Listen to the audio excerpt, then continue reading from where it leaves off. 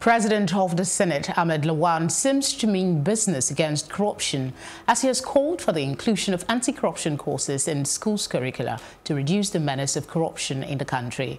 He advocated for a review of the basic school curricula to include the teaching of anti-corruption tenets and the ills of corruption in the society. Is this a good idea? What happens when what they learn doesn't seem to align with what reality shows them. Joining me to discuss this, or rather still with me in the studio, is Lolu Elegbe. Thank you very much for staying with us. What is the merit of this suggestion, in your opinion? Honestly, I'm not quite sure. and the reason I say that is because I'm not, when you say teaching um, anti-corruption in schools, and I'm, I'm, assuming they're talking about schools from primary school all the way yes. all the way to the top. Now, first of all, I think it should be clear that people already know corruption is bad, right?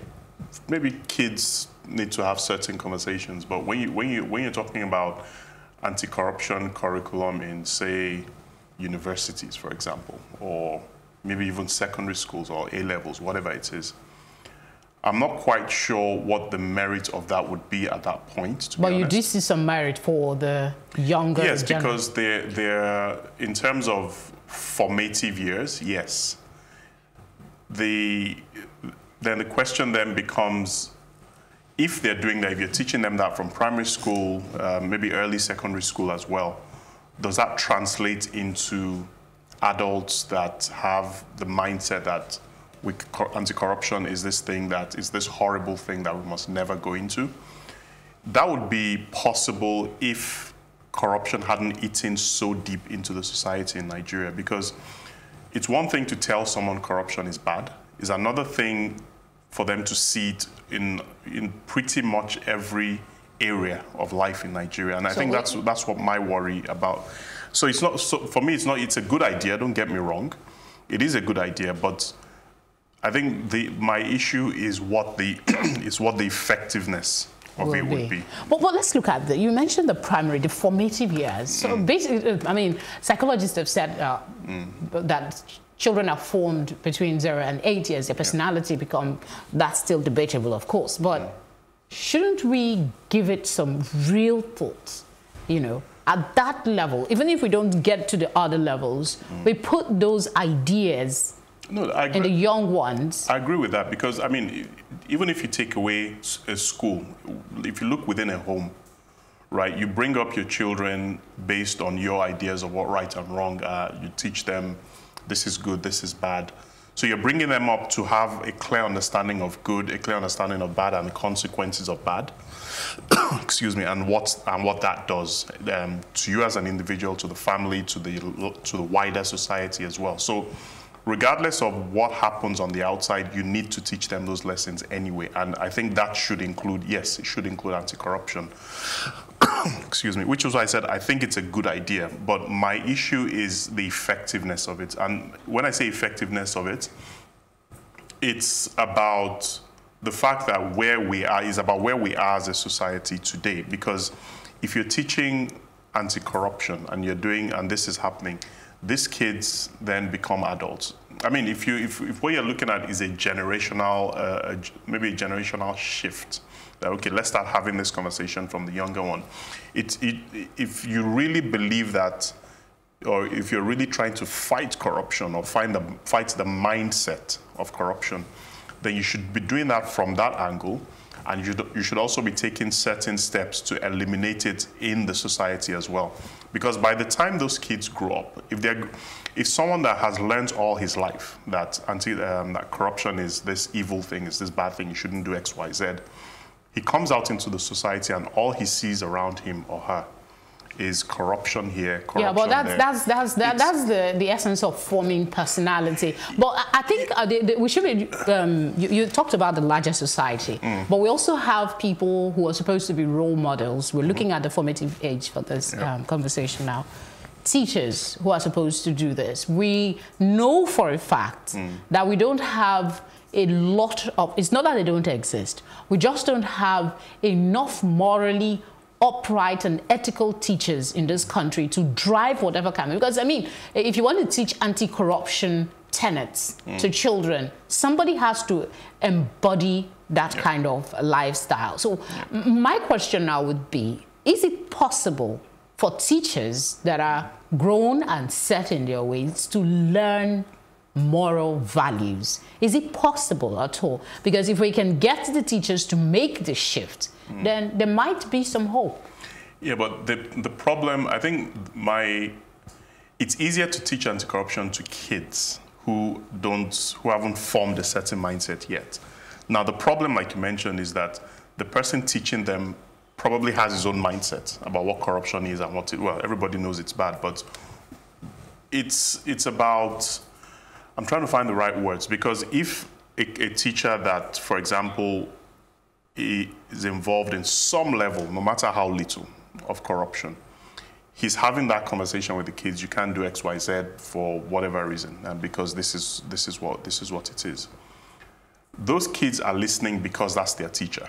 They're not listening. They're not necessarily listening because they have enough of an understanding. That's that's that's, that that's actually my question. The teachers, mm. is it possible for these teachers? Mm. Um, I mean, we have to yeah, start somewhere for them to learn some sort of value. Is it possible at all? Yeah, but this might this might sound controversial, but I don't believe that because of where we are today. Ideally, the ideal thing should be it's someone who is morally upright that should be teaching these lessons. But because of where we are as a society today, I don't believe it's practical to find for you to say that um, before you teach this anti-corruption lesson, you yourself has to have you have to have shown moral uprightness. I'm not saying there are no morally upright people in Nigeria. I'm just saying that being able to find teachers across the board who can say, um, I'm not in, I've not done anything corrupt. I don't do anything corrupt. I'm morally upright, so I can teach the lesson. I think it's a bit of a stretch. So my point is that we can't, if what we're trying to do is to teach these children that um, corruption is X, Y, Z, then I don't think if we're going to wait for morally upright teachers, we're going to be waiting for a long time. So I think it's possible, it's, it might sound hypocritical, but I think it's possible for someone who doesn't necessarily have that particular value to still teach that lesson. And because it's not like they, it's not like the teachers don't know that these things are not, are not right. It's not like they don't know because you're teaching the lesson, you're teaching the lesson saying um, don't get involved in corruption, blah, blah, blah. And then tomorrow you want to go and maybe renew your passport.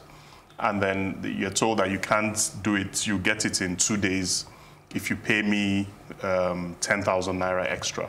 And because he's traveling next week, he's not going to want to wait. So he will pay that. So as little as that sounds, it, it is, I don't mean the amount, but as little as that example sounds, it is still corruption at the end of the day. Because what you've just done is you, are facilitating a corrupt tra transaction by doing what you've just done. So if you're going to find someone who has never done anything like that, in terms of what, what I guess you call it's, moral For you, it's impossible it's a, at this time. It, it's not impossible, but it's a stretch. It's it, a stretch. You're just being nice with words.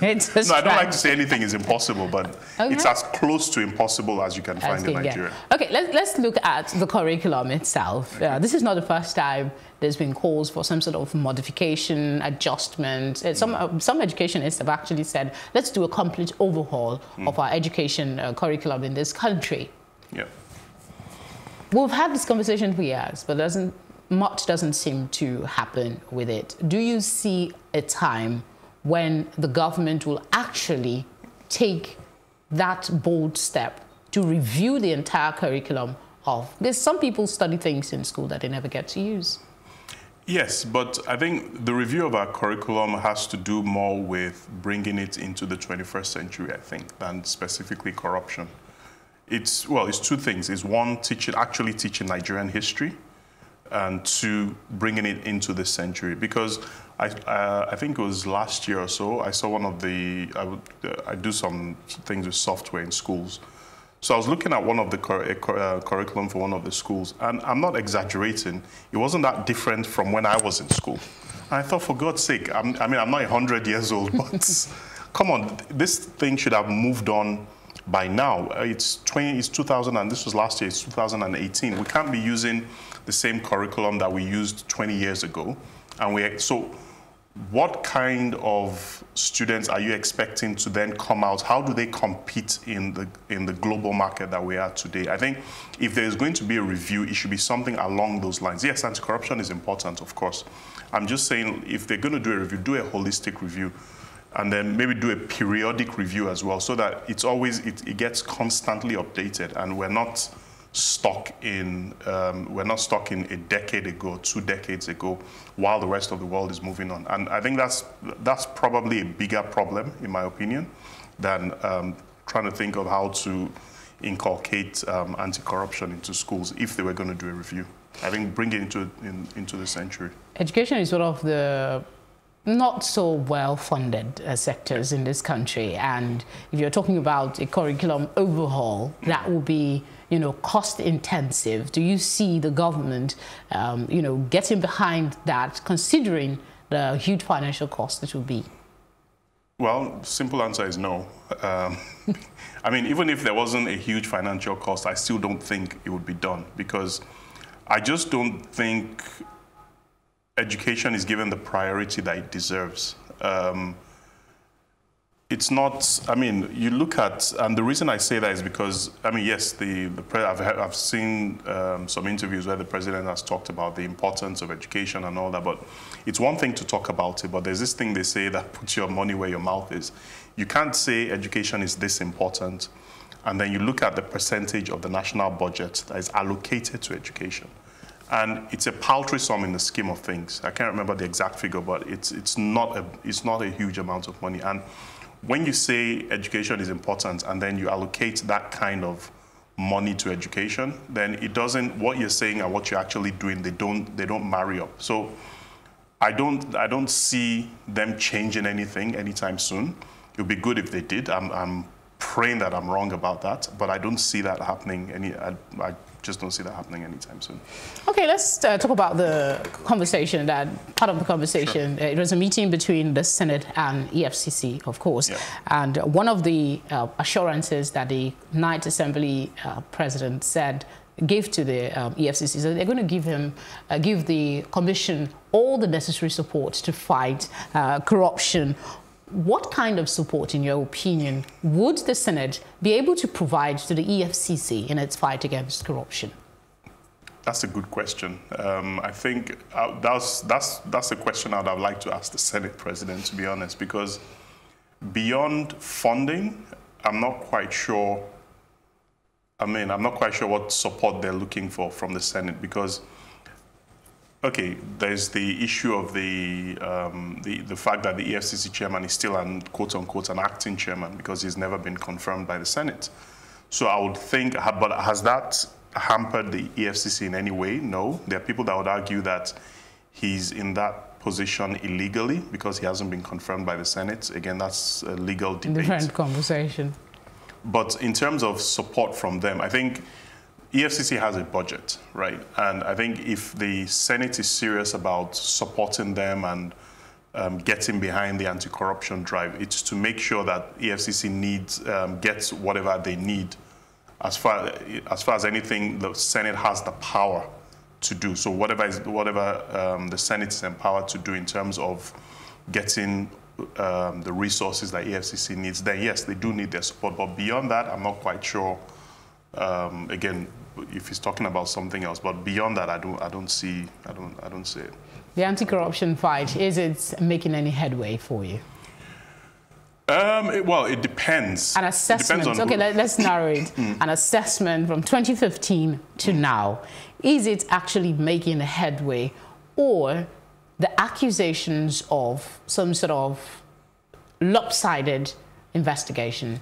Status? Yeah, but so I had this almost this exact argument or debate with a friend not too long ago about um, selective prosecution of or selective investigation of EFCC case, of cases um, at EFCC, and to, to be honest, my my frank view is that if it's selective, I really don't care that it is. It, do I think it's selective? Yes, I think it is. But I don't think it matters. And the reason I say that is because regardless, no matter which government is in power, they they will be accused of selective investigations by the EFCC. The question isn't the selectiveness. The question is, are the people they're investigating, do they have a case to answer? So if, if there's an APC government there and they're investigating people in PDP, the question, the real question is, those people they're investigating, do they actually have a case to answer? If they don't, then that's a different conversation. But if they do, then why you bother that it's been selective? That's almost like saying, um, Mr. A and Mr. B went to rob someone's house. Mr. A gets caught, goes to court, and you're saying, but um, why are you disturbing Mr. A when Mr. B also also stole with him? Which is a fair question, but it doesn't change the fact that Mr. B has a case to answer there. So my point is, that's why, and that's why I say that I don't really mind that it's selective. I just think that the, the, the real issue is that the people that are being investigated, do they have something to be invested to? Do they have something worth investigating? If they do, then I really, it really doesn't bother me that it's selective, to be honest. Thank you very much, Lolu, Thanks for coming on the program. Thank you. Right, we go on a short break for our Plus package, and when we come back, I'll be giving you my take. Do stay with us.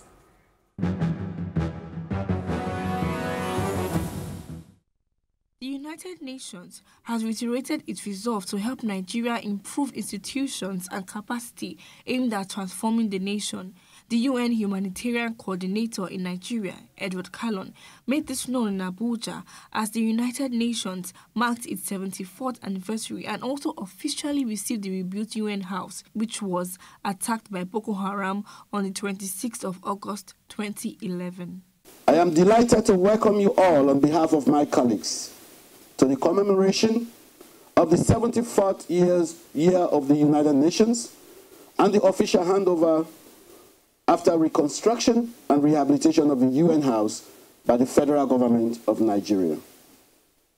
The United Nations system has been working with the government and people of Nigeria to strengthen capacity and improve institutions, policies, and legal frameworks that will deliver human and socio-economic development using global best practices and drawing on the comparative advantages of the UN system. I'm always proud to say that the UN, as a gatekeeper of international development in Nigeria, will remain steadfast in supporting the government to strengthen institutions and do this in tandem with parliament, judiciary bodies, and other national stakeholders as well as bilateral and multilateral partners to improve democratic and accountable governance, facilitate inclusive growth and development to eradicate poverty and provide sustainable livelihoods and humanitarian assistance and help provide and protect the weak and vulnerable in the society. 26 August 2011 was first and foremost a cowardly attack on Nigeria and its people but it was also an attack on the values and aspirations that the United Nations seeks to uphold. Peace, freedom, prosperity, tolerance, justice. The then Secretary General described it as an assault on those who devote themselves to helping others. So the opening of UN House today is an act of defiance against such terror. We stand together to say that we will not be cowed by violence. We will continue to support the Nigerian people fulfill their dreams of a future of prosperity and security.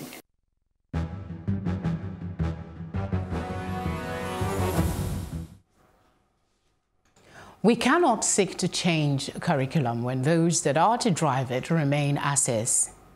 For me, the moral dimension of teaching has for a while received little or no meaningful attention among teachers in Nigeria. There is a growing value-free instructional practice between the student and the teacher. A wise scholar once opined that children do not enter the world compassionate, caring, fair, loving, and tolerant nor do these qualities emerge in due course like hair on the body. Rather, moral qualities are learned and acquired in the course of lived experiences.